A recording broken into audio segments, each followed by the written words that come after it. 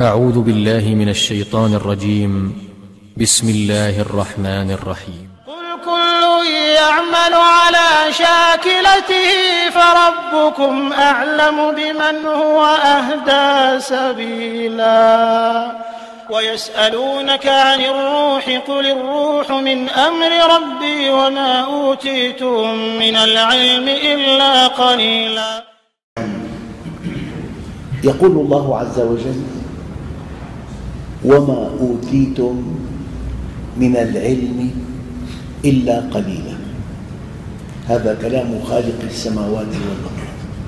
وما أوتيتم من العلم إلا قليلا. وأحد أكبر علماء الفيزياء أينشتاين الذي وصل إلى السرعة المطلقة في الكون. السرعة المطلقة في الكون سرعة الضوء. 300 ألف كيلومتر في الثانية.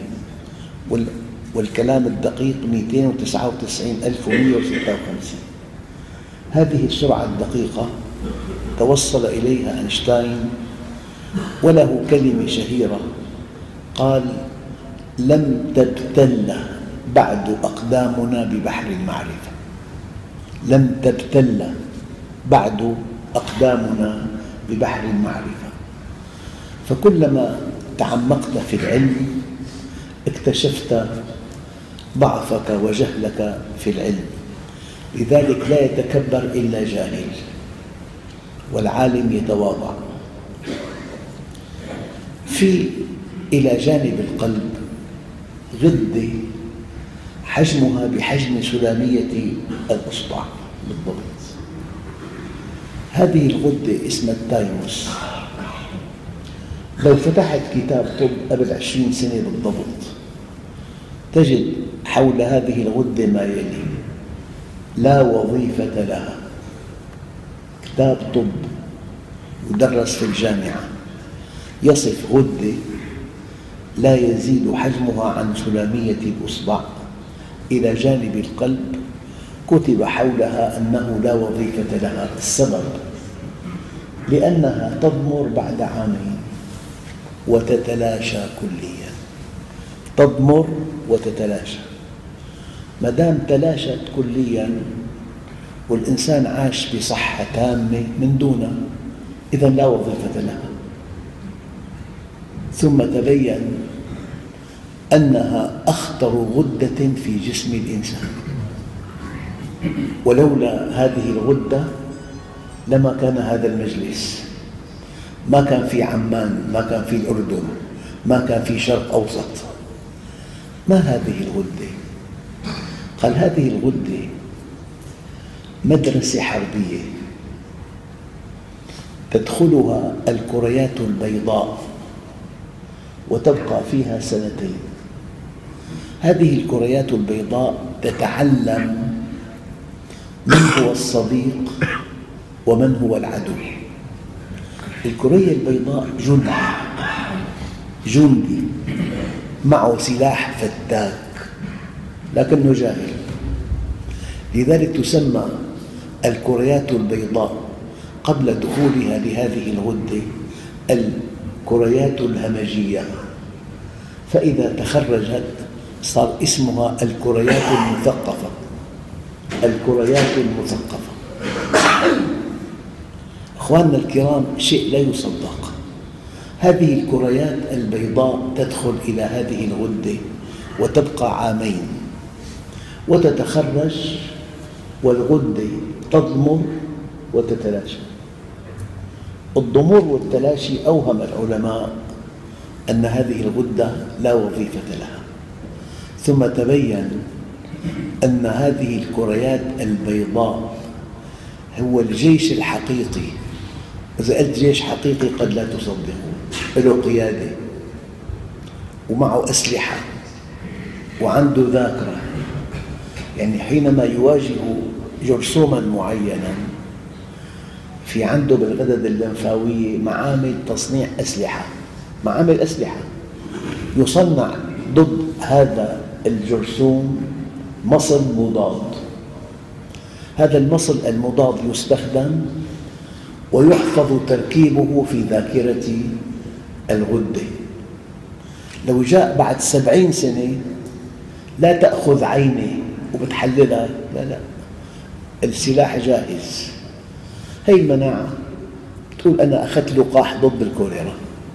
يعني أنت دخلت كوليرا جراثيم كوليرا ضعيفة والأجهزة الدقيقة بالجسم صنعت مصل مضاد. وتركيب هذا المصل حفظ في ذاكرة جهاز المناعة. فإذا جاءت هذه الجراثيم بعد سبعين سنة هذه تركيب المصل المضاد جاهز. رأسا فلان عنده مناعة. يعني بيعطوه جرثوم كوليرا ضعيف يصنع مصل مضاد وبينتهي الأمر. لو بيجي بعد منا 100 مرة الجرثوم بيدخل المصل المضاد جاهز بيقضي عليه. هي المناعة. الشيء الذي لا يصدق أن هذا الجنين في ببطن الأم بالرحم الجنين وفي معه قرص لحمي يسمى عندنا في سوريا باللغة العامية الخلاص ويسمى عند الأطباء المشيمة. هذه المشيمة فيها أعمال العقل لا يصدقها بل عقول البشر مجتمعة عاجزة عن أداء الوظائف التي يقوم بها الغشاء العاقل. سماه الأطباء الغشاء العاقل. ماذا يفعل هذا الغشاء؟ هذا الجنين في دمه ودم أمه. وكل دم زمرة ولما نعطي إنسان خطأ دم من زمرة أخرى يموت فورا. عندنا في الشام قصة أنه مريض إلى جانب سريره في إضبارة مكتوب بالإضبارة زمرة دم لما تخرج الإضبارة نسيت. جاء مريض آخر. كان بحالة إغماء. وبحاجة إلى دم. توهم الطبيب أن هذه الإضبارة لهذا المريض. فتح الإضبارة وأخذ جمرة الدم وأعطاه 300 ملي مات فورا. إذا أعطينا إنسان دم من جمرة أخرى في عنده حالة اسمها انحلال الدم. يموت فورا. فلذلك هذا الغشاء العاقل هذا الغشاء العاقل يجتمع في المشيمة دم الأم مع دم الجنين ودم الأم زمرة ودم الجنين زمرة ولا يختلطان الذي يمنع اختلاطهما هذا الغشاء.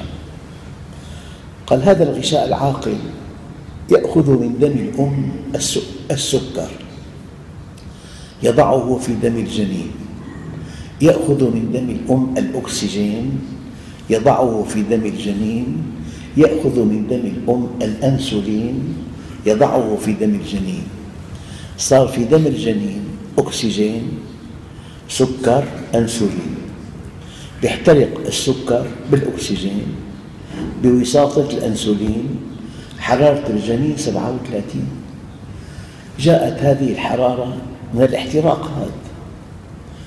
الآن الغشاء العاقل بينقل دقق كل عوامل المناعة عند الأم.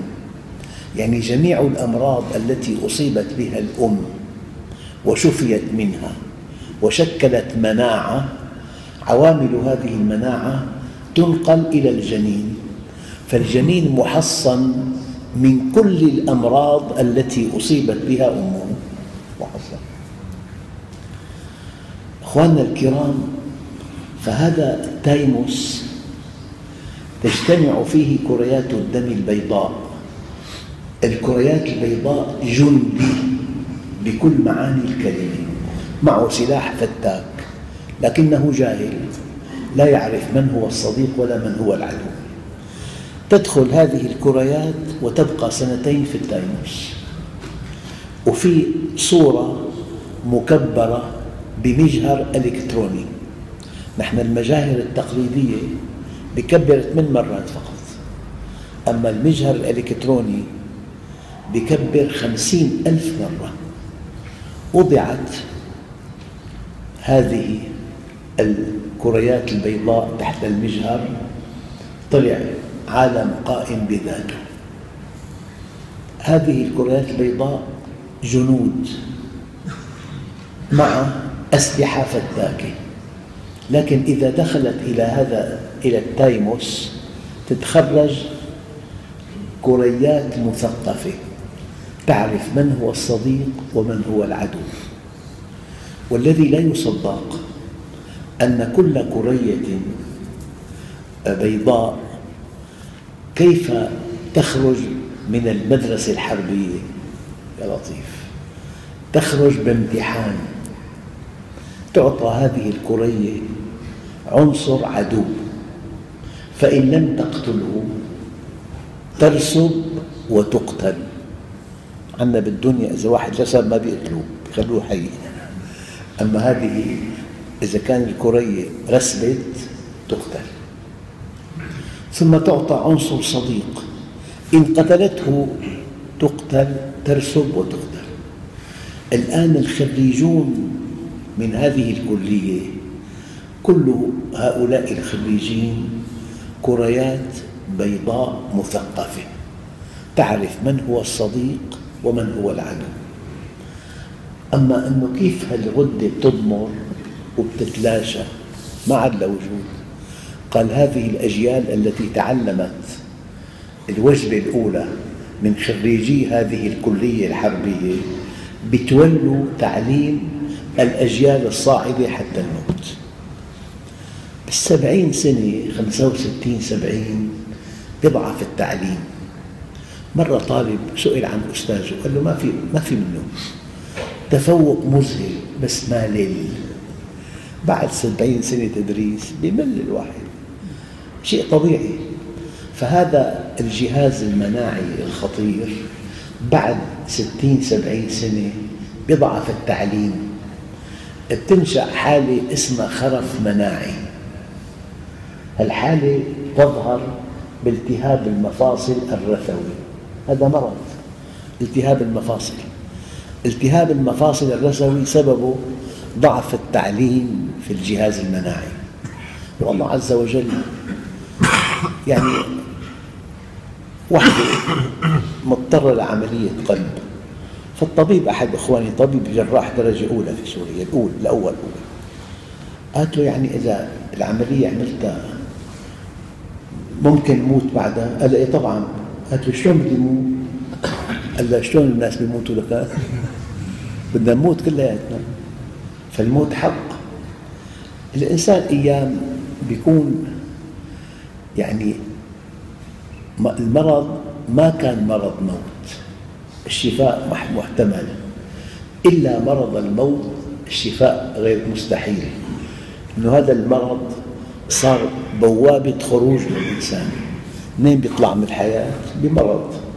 فإذا كان مرض الموت هذا بيتفاقم فكل مرض يميل للشفاء بيكون ليس مرض الموت لكن مرض الموت يتفاقم حتى ينتهي بالموت. فهذا التايموس غدة صغيرة فيها مدرسة حربية بتعلم الكريات البيضاء من هو الصديق ومن هو العدو. ولما بيتخرجوا الكريات البيضاء أصبحت كرية مثقفة. تعرف من هو الصديق ومن هو العدو. يعني هذا الإله العظيم والله أيها الإخوة والله لو أمضيتم كل أعماركم نو سبعين سنة ثلاثة وثمانين سنة. في دراسة أجهزة الجسم لا ننتهي. يعني إذا واحد برأسه في 300 ألف شعرة هذا العدد الوسط 300 ألف شعرة. لكل شعرة وريد وشريان وعصب وعضلة وغدة دهنية وغدة صدرية كل شعرة. والشيب له دراسة طويلة عريضة. شيبتني هود. الشيب يأتي من التقدم بالسن لحالة طبيعية ومن شدة نفسية. أيام الشدة النفسية تحدث شيب بالإنسان. أنا والله يعني لكم عندي هذا اليمين. لو فكرت بجسمك فقط بطعامك بشرابك يعني واحد ماشي بستان إيه شو صار؟ وجد أفعى ما الذي يحدث؟ قال تنطبع صورة الأفعى على شبكية العين. إحساساً. إحساس. لكن الشبكية ليس فيها أجهزة تقرأ الصورة. الأيام أنت تعمل صورة. تجي على البيت تحطها ما تفهم شيء إطلاقا. بتروح على الطبيب طلع في احتشاء. أو في كذا أو في كذا. بيفهم الطبيب من الصورة أشياء كثيرة جدا. لذلك الصورة لا تقرأ في شبكية العين تقرأ في الدماغ. شوفي بالدماغ. في ملفات ملفات. يعني مثلا في ملف الأفعى ملف بالدماغ. سمعان قصة من ستك عن أفعى طلعت بالبيت العربي. حفظتها شفت أفعى بمعرض للأفاعي موضوعة بقطرميز مع محلول معين. هي الثانية؟ شفت أفعى ببستان شفتها بمتحف علمي. سمعت قصة من ستك القصص والمشاهدات والتحليلات هي كلها بتجتمع بالدماغ بملف الأفاعي والثعابين. لما بتشوف أفعى هذه الصورة تنتقل للدماغ بالشبكية ما في إدراك. إحساس. بالدماغ في إدراك. بتكتشف بالدماغ أنه هي أفعى. لذلك بتاخذ موقف إما أن تقتلها أو أن تهرب منها وقالوا العلماء أنت في معك قانون دقيق جدا. الإدراك فالانفعال فالسلوك يعني شفت أفعى باللسان أدركت أنها أفعى وسمها قاتل. فهذا الإدراك ولد انفعال. الانفعال ولد حركة هربت أو قتلت فأنت علاقتك مع المحيط علاقة إدراك وانفعال وحركة. فإذا واحد قلنا له على كتفك عقرب وبقي هادئ وابتسم لك قال لك أنا شاكر جدا لهالملاحظة والله يقدرني كافيك عليها. بيكون ما فهم شو قلت له. لو فهم كان بينط بيشلح ذاكرته ما هيك؟ إذا فهم. فكل إنسان بيقرأ آيات النار ما بيتحرك. بيته معاصي بيعملوا معاصي دخلوا حرام. عادي عادي. بس بيتبارك بالقرآن. بيعلقوا بأوضته ضيوف مصحف آية الكرسي وبيحط بسيارته مصحف. وكل دخله حرام وكل إنفاقه حرام وكل لقاءاته الاجتماعية حرام. فهذا ما فهم شيء من الدين. لما بتفهم الدين بيرتجف قلبك من معصية. لا تنظر إلى صغر الذنب. ولكن انظر على من اشترأت. لا تنظر إلى صغر الذنب ولكن انظر على من اشترأت. هل تعلم أنت حينما تستقيم على أمر الله من من تطيع تطيع خالق السماوات والأرض؟ وهل تعلم ماذا ينتج عن الطاعة؟ شيء لا يصدق. ومن يطع الله ورسوله فقد فاز فوزا عظيما. يعني إذا كان عقب أحد أعياد المسلمين زرت أخوك. وفي بالبيت أولاد أخوك. قال لك ابن أخوك عمو أنا معي مبلغ عظيم. كم تقدره؟ أنا بقدره 100 دينار يعني إذا كان له أعمام وله أخوال هذا أعطى عشرة هذا أعطى عشرة يعني بيطلعوا 100 دينار. فكلمة عظيم من طفل تعني 100 دينار.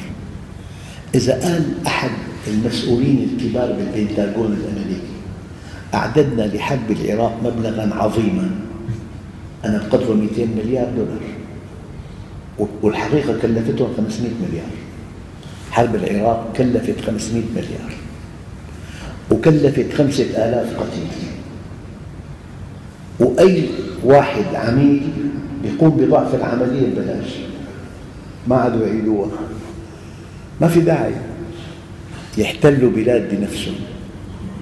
تعرفوا أكثر من في الأرض يعمل عمالة فلذلك إخواننا الكرام البطولة أن تعرف الحقيقة قبل فوات الأوان.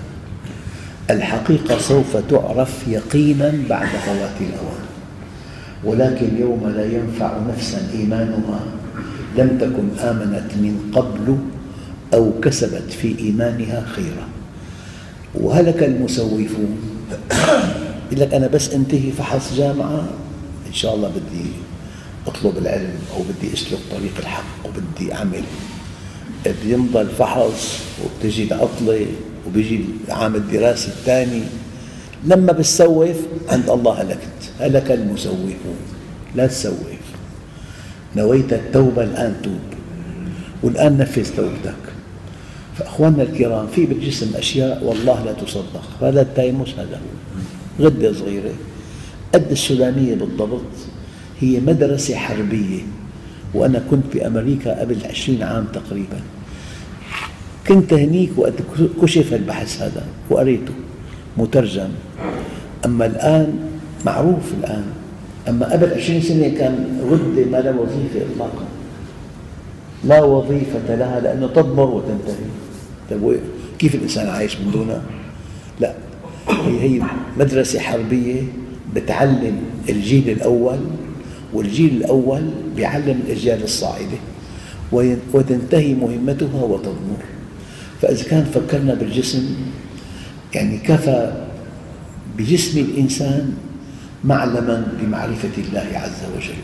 وفي أنفسكم أفلا تتفكرون أفلا تبصرون. والحمد لله رب العالمين. بسم الله الرحمن الرحيم. الحمد لله رب العالمين والصلاة والسلام على سيدنا محمد الصادق الوعد الأمين.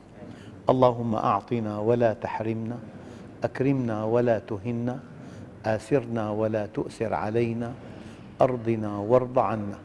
وصلى الله على سيدنا محمد النبي الأمي وعلى آله وصحبه وسلم والحمد لله رب العالمين الفاتحة